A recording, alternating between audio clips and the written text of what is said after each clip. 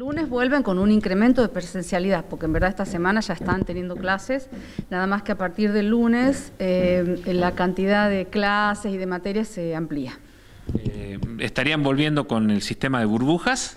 Sí, eh, vamos a mantener el sistema de burbujas porque eso tiene que ver con los protocolos que nosotros tenemos aprobados, que establecen los distanciamientos, que por lo tanto se nos fija un límite para la cantidad de chicos y chicas que pueden estar en cada curso. Bien, ¿hasta acá cómo venían trabajando?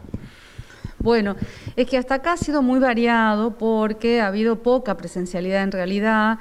Este, se ha concentrado, por ejemplo, en algunas escuelas en terminar talleres 2020, en, en hacer presencialidad en algunas materias muy específicas que son más difíciles para dar en la virtualidad.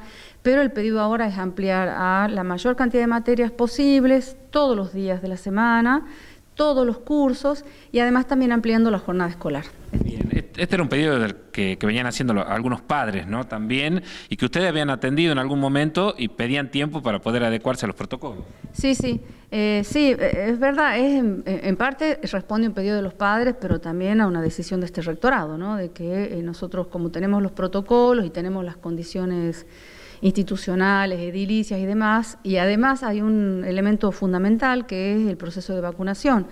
Entonces, dados todos esos elementos, eh, entiende este rectorado que podemos este, solicitar esto a las escuelas.